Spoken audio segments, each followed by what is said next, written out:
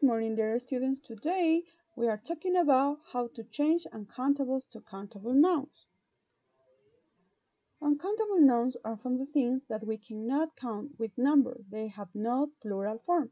Queridos estudiantes, vamos a ver la anterior clase que fue no contables. Los no contables no podemos contar, son cosas que no podemos contar. Es, estos no tienen forma plural. Example, salt, sal, good, madera, tea, té, wine, vino, sugar, azúcar, bread, pan, furniture, muebles, hair, pelo, money, dinero. How to change uncountables to countables. To transform the uncountables to countables, we must use units of measurement. Para transformar un no contable a contable, nosotros vamos a utilizar medidas, unidades de medida. Unit of measure, a pound of, una libra de. A cup of, una taza de. A glass of, un vaso de. A jar of, una jarra de. A liter of, un litro de. A spoon of, una cucharadita de.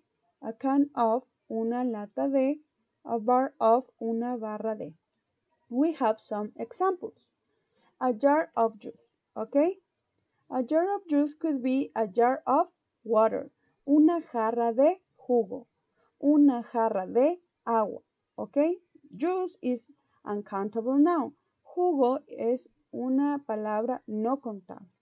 Cuando nosotros ponemos una unidad de medida, a jar of se transforma en contable. A spoon of salt.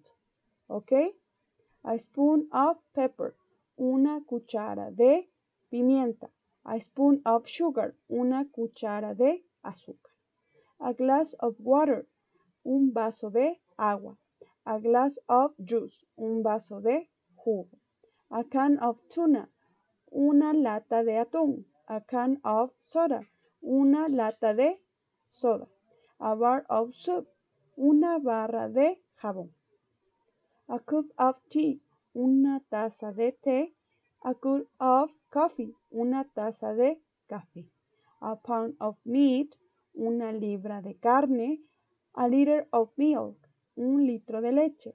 A liter of oil, un litro de aceite. That is all. Bye bye, students.